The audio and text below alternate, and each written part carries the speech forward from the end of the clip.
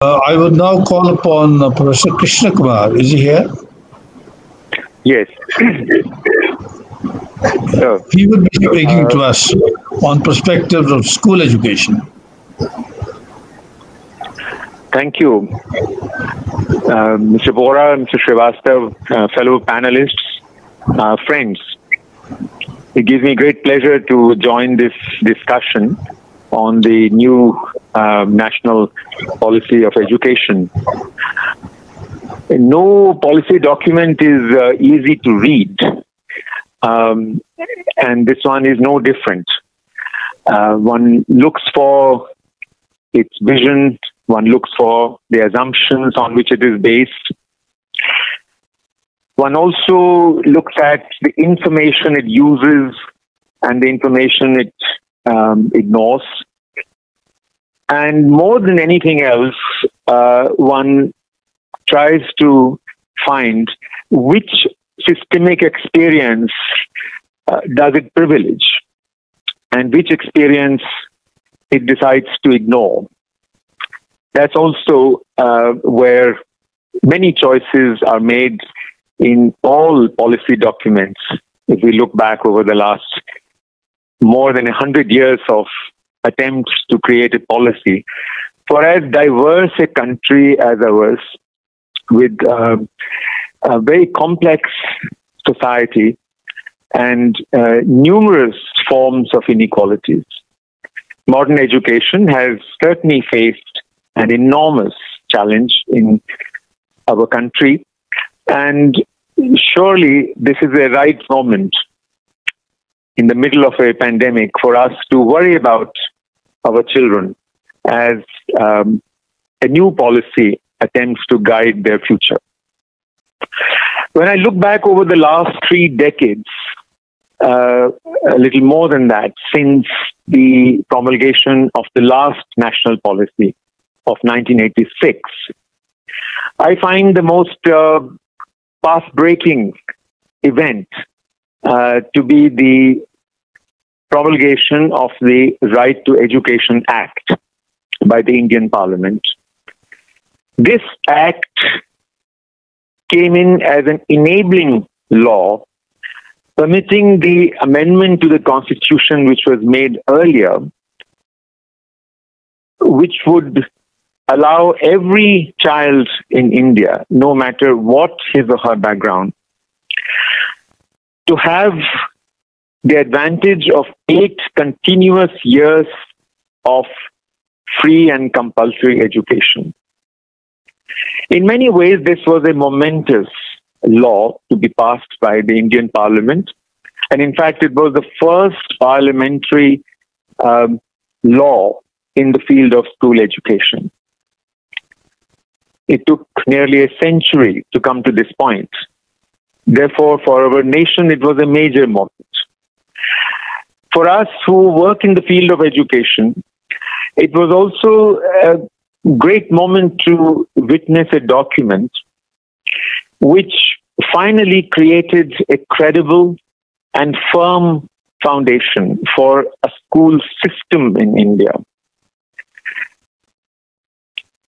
It defined a school system with the help of stringent norms that it laid down. It defined the school system in terms of the kinds of purposes which elementary education must serve. And it also created a sense of a parameter beyond which the system will not be allowed to deviate, so to say. In many ways, it was a path breaking document, therefore. It posed an end, so to say, to volunteerism, to the discourse of non formal education, which the 1986 policy had, in fact, under those circumstances, permitted uh, to become part of uh, the system. The RTE law ultimately promised to India a system where all aspects, from teacher to curriculum to infrastructure and uh, conditions in which children are taught, all these aspects will become justiciable. the fact that uh, the RTE law made um, a clear cut outline of what is it that constitutes the right of children from 6 to 14 years of age to education. The fact that it delineated the parameters of a system so clearly uh, was indeed a heartening moment for uh, lakhs of people like me uh, who work in this sector. The late Professor Tapas Majumdar had provided an initial estimate of the financial support that the translation of the right to education into a social reality will require. It was a considerable budget that Professor Majumdar presented and justified. And it was going to be a part of the implementation process in which both the center and the states would have a clearly indicated share as far as financial responsibilities were concerned.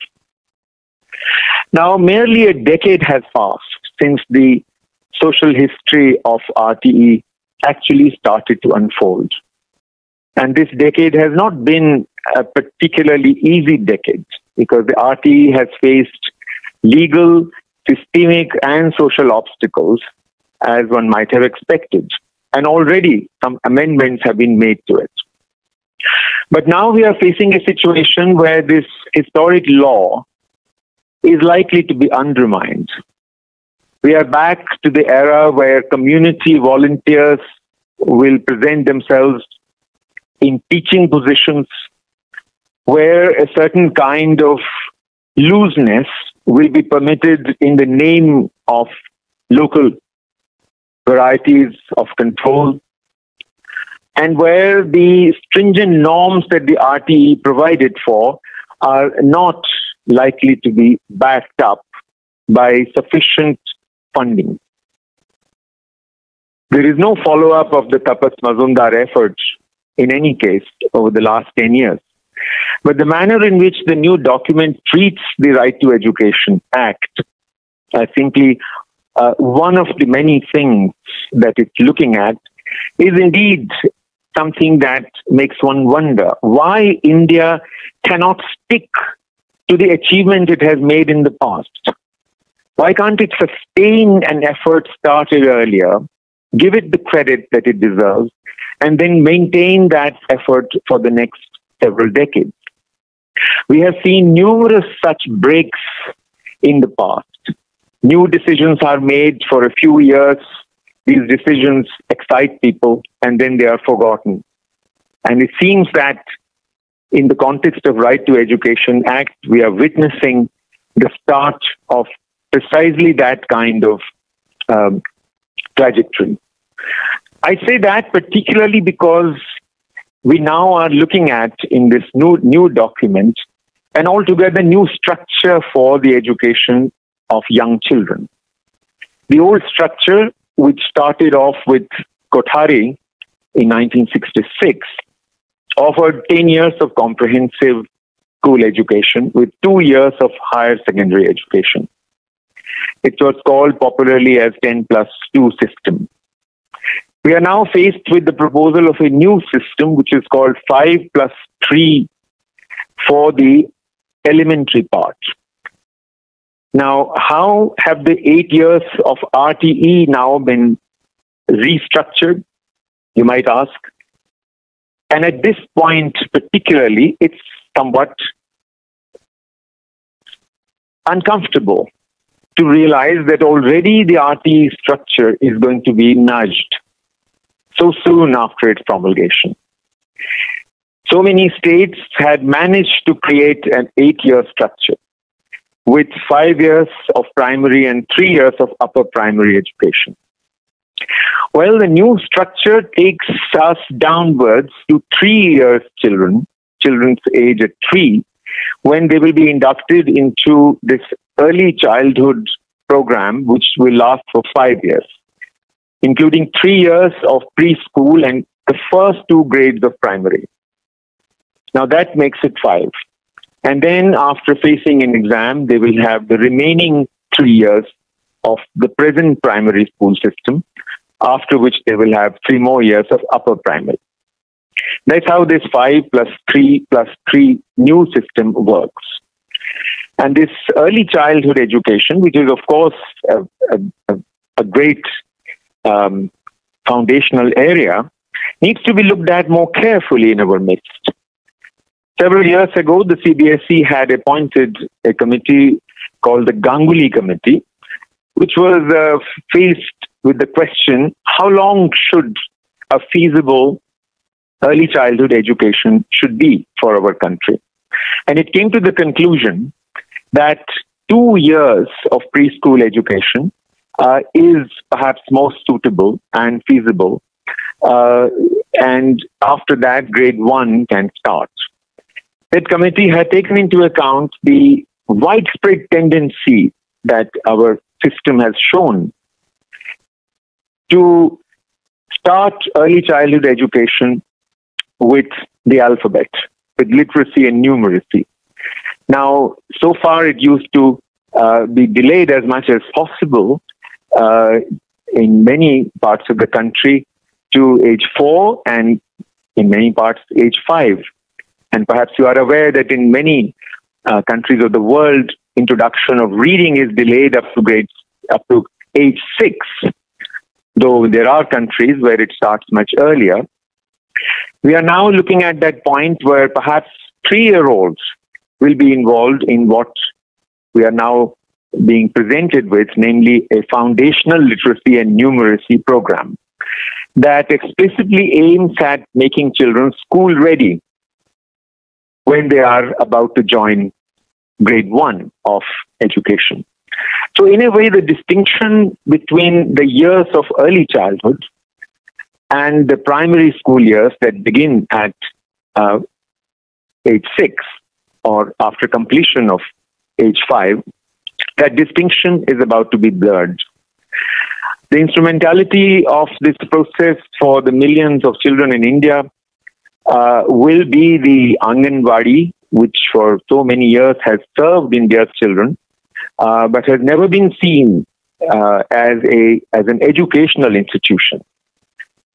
Its new incarnation will make it um, a part of this new system, and one can only wish it well at this moment. But at this moment, it's also important for us to look at a theoretical question. What are the perils of prematurely imparted literacy to a child? What are the perils of making the child school ready from such an early age?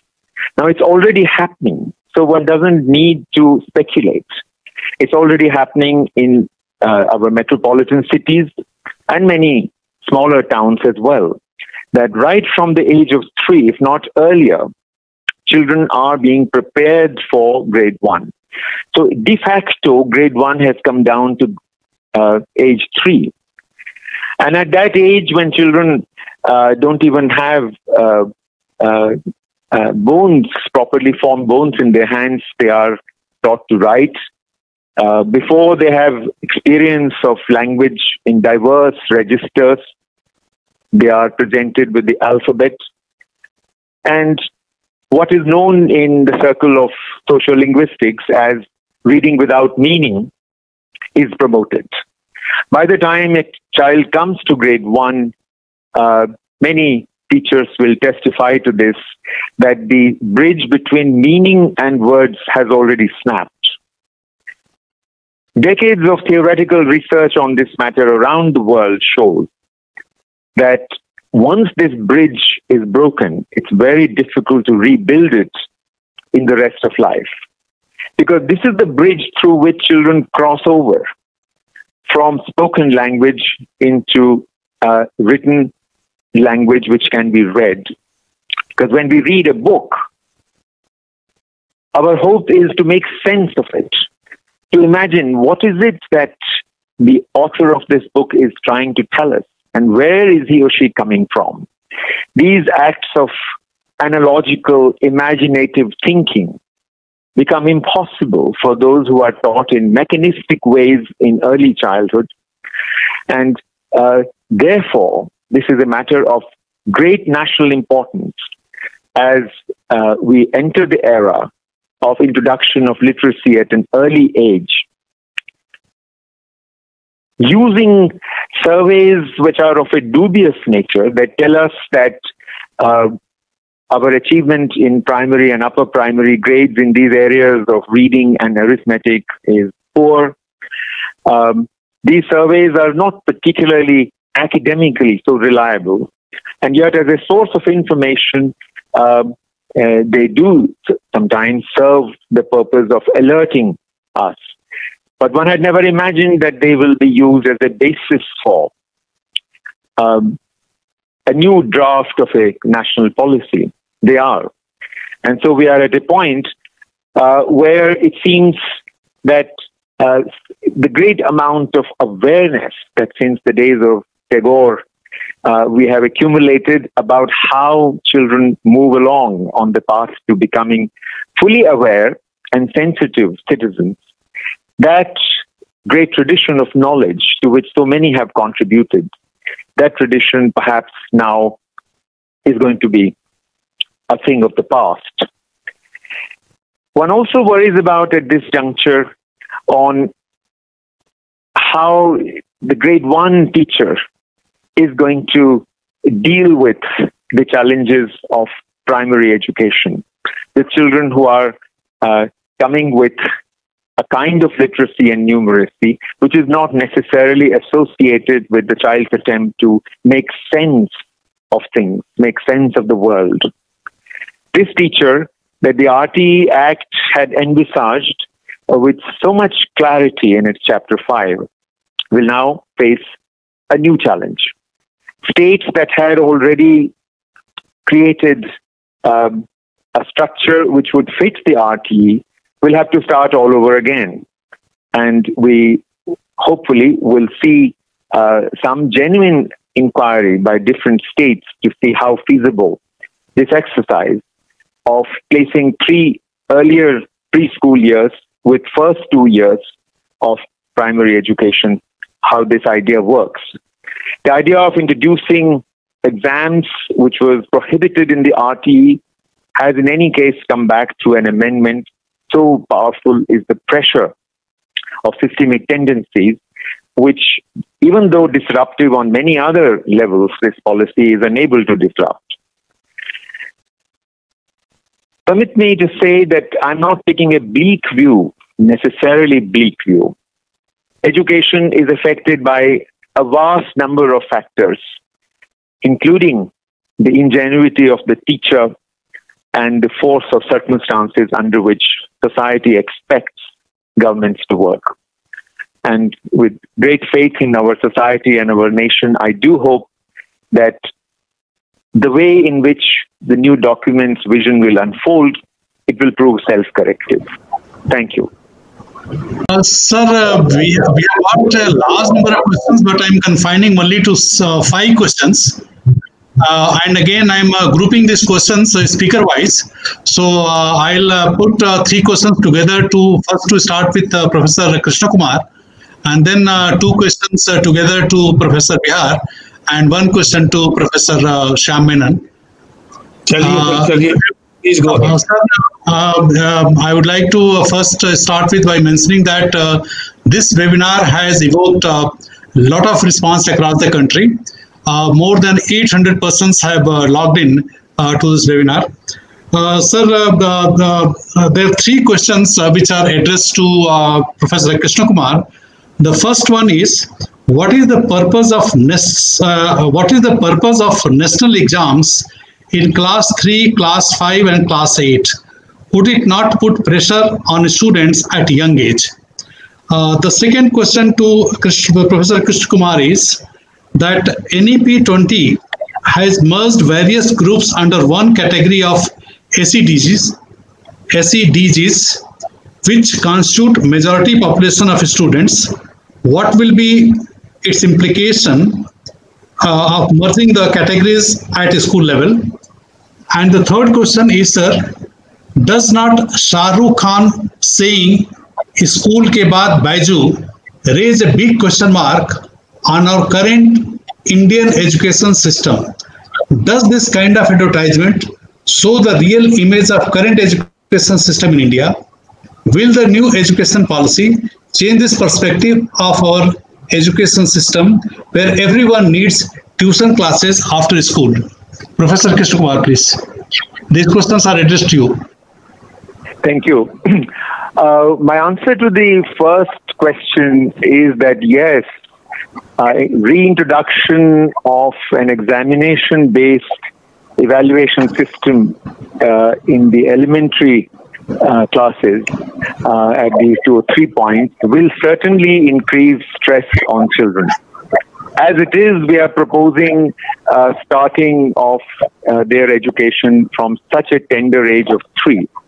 And given the realities of our early childhood provisions right now, uh, the stress on children, which is already very high across the system, can only increase with uh, introduction of exams, something which the Right to Education Act uh, had prohibited. Now, um, the result of this stressful situation is that a tuition system, a parallel coaching system, has um, taken place across the system right from early childhood up to the highest stage of school education. Uh, we notice that across the country, a coaching tuition system has uh, virtually become a parallel system. Uh, and in many cases, it undermines the main school system. It seems that uh, given the uh, realities of how this restructuring uh, will unfold, uh, the coaching and the tuition system is not likely to diminish at all. In fact, it may flourish. Um, there is no consideration at the moment as to how we will increase uh, quality in early childhood education. At the moment, we don't have even norms for it, and they can't be created out of the sky. Um, the entire issue of focusing on this parallel system has been, in fact, ignored.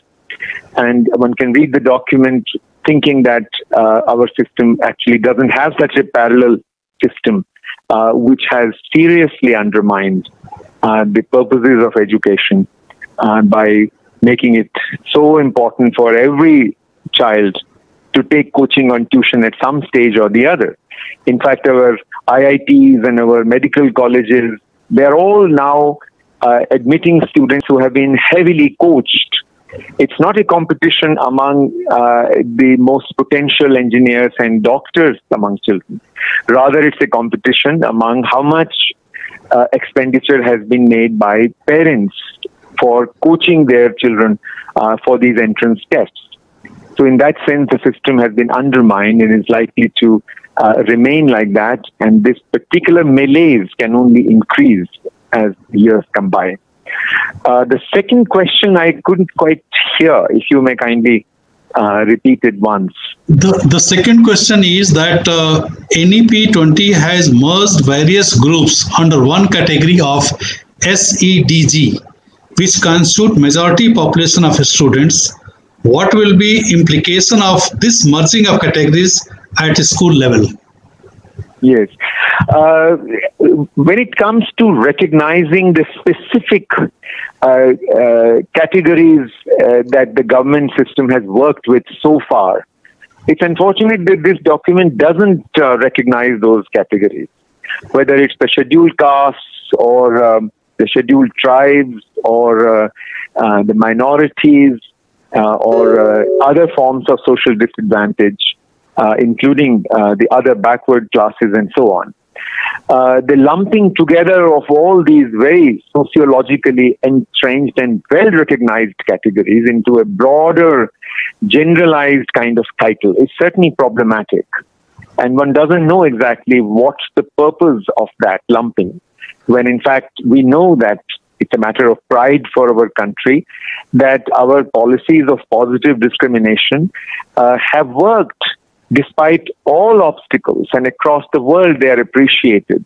The extent to which uh, the goals of equity have been served by a policy of reservation and special treatment of different groups and recognition of these different groups, the extent to which these policies have been pursued over the years has been a matter of some appreciation, or even though there are uh, numerous um, uh, causes of dissatisfaction, but the general direction has been appreciated. Uh, what's the point of now lumping these categories and forgetting them as if they don't exist? As if India doesn't have a caste divided society, as if we don't have problems of uh, disadvantage over generations, as if our tribal children um, uh, have the same starting point as anybody else. Uh, it's a kind of an act of pretension. And unfortunately, the document does have many such acts of pretension, kind of wishing away a reality by not noticing it and uh, creating a sort of a fantasy of all problems getting resolved. This speaks of a very imaginative kind of instrumentality. Uh, which is certainly problematic if you are looking for uh, good insights and practical solutions. Thank you. Uh, the the next set of questions is to Professor Anurag Behar. Uh, the new policy, how much it would be effective in the globalized world? It lays a lot of emphasis on education in uh, local language whereas English is becoming important mode of conversation in this world. The second question is why the final document of NEP is so different from the draft submitted in 2019. And the third question, this third question has been asked by a very senior IS officer, Mr. Devasahayam. He says that this policy is predatory policy with the center violating the constitution and federal structure of India, how can the center arbitrarily grab school education from the states and dictate terms? School education must return to the states list as it was before 1976. Professor Anurag Behar.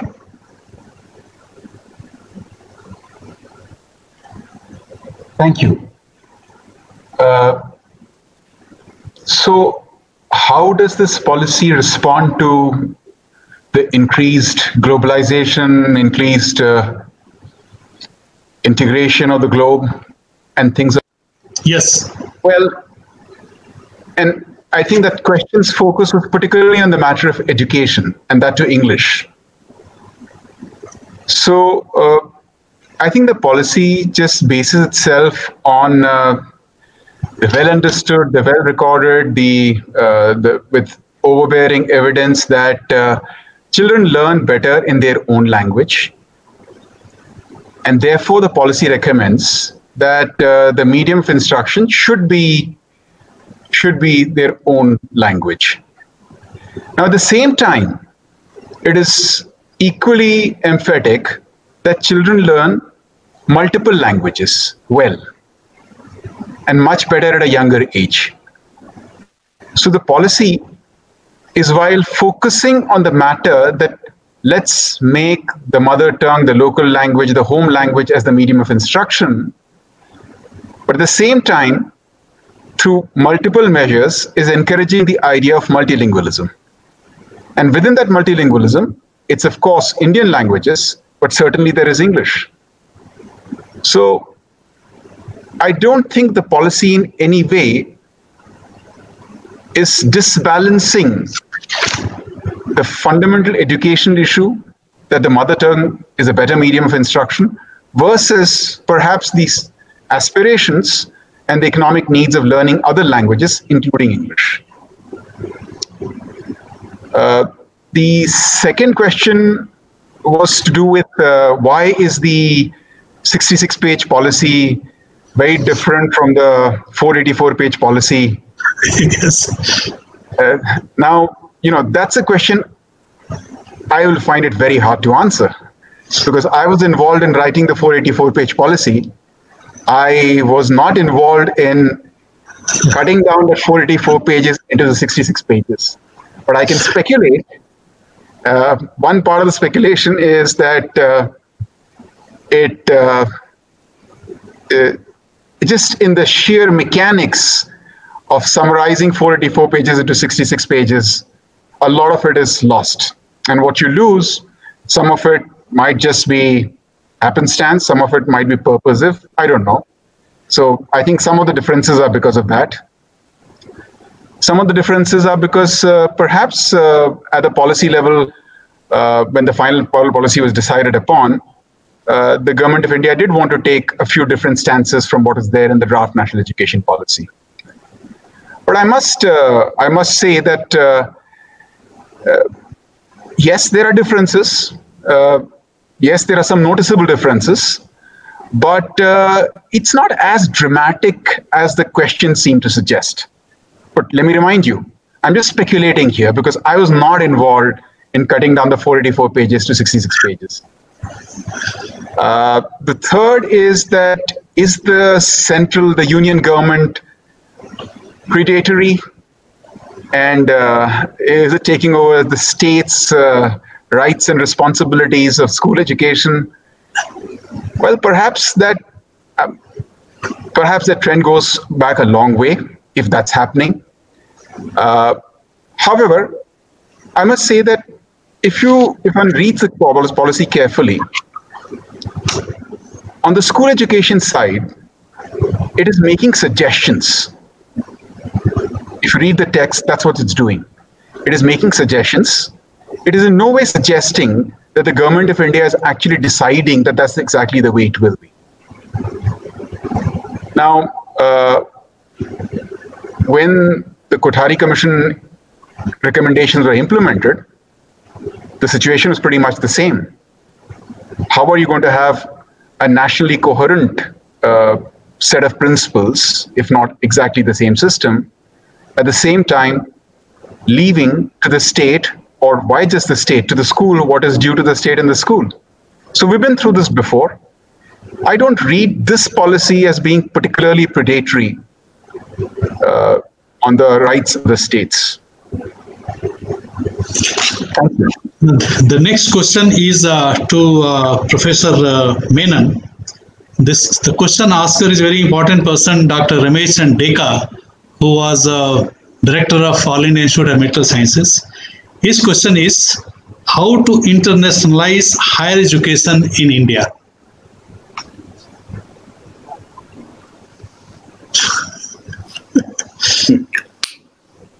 Uh, well, uh, this is not about the policy, surely. Uh, I think if it's for about the policy, one should ask the people who wrote the policy.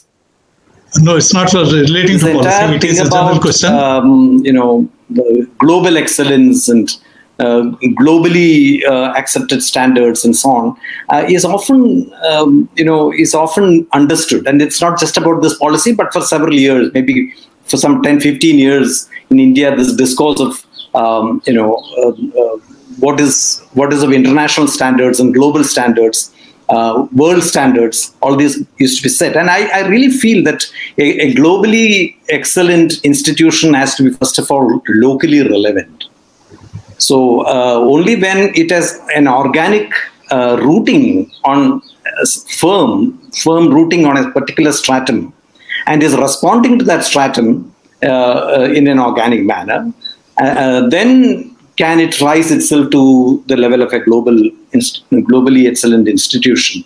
So international standards is largely in that sense. I wouldn't be really, uh, you know, think in terms of just collaborations and uh, you know, faculty exchanges and uh, twinning programs and stuff like that alone. That doesn't really create much of an international standards. Neither will uh, inviting um, uh, world players, uh, in, uh, foreign universities to come and set up shops here. We're also not is not going to help. I think we need to really work in terms of creating excellent faculty. And if institutions have to be developed, there has to be good faculty and we have to think of a serious program of uh, creating excellence in our prospective faculty, attracting young, bright people to come into academia. Um, a, a, lot of attitudinal, the, the whole environmental ethos has to change for that. At the moment it's a very unhappy situation. I hope it, it doesn't last for long. But at least in public universities it's a, it's an environment of um, uh, you know, uh, being feeling oppressed and fearful. And I don't think those are the places where good research will happen. and uh, those are the places will innovation of ideas will happen. Uh, all this will happen only if there is a certain liberality in the way in which universities, the ecosystem of universities located. And only then will we rise to the international standards. It, it's not just a Lego toy approach of, uh, you know, uh, creating um, standard templates in various parts of the country and uh, with, uh, with, linkages with uh, institutions abroad and suddenly it becomes international. I don't think it happens like that. Kailash, you can proceed to, are you going to deliver your Uh, vote of yes, now, thanks? source. Uh, Sir, now we come to the end of the program. Uh, on, I would, on behalf of India International Center, uh, I would like to profusely thank uh, Professor Anurag Behar, Dr. Krishna Kumar, Professor uh, Shyam Menon for sparing their time for this webinar. And as I had mentioned earlier, this webinar has really aroused a lot of interest and uh, uh, the number of participants who have joined this webinar indicates that. And I'm sure today's deliberations are definitely going to be much more helpful in understanding uh, this new policy. So with these words, I once again thank each one of you profusely on behalf of IIC, and I look forward for your more and more participation in IIC webinars and uh, physical programs in future. And in the end, I also like to thank our uh, president, uh, Sri N. Who was kind enough to spare his time for uh, chairing this uh, entire uh, session. Uh, thank you very much, sir. And I thank everybody who has joined uh, this webinar uh, through the virtual mode. Thank you very much. Thanks, everybody. Thank you. Thank you so much. Thank you. Thank you very much. Thank you, everyone. Thank you. Okay.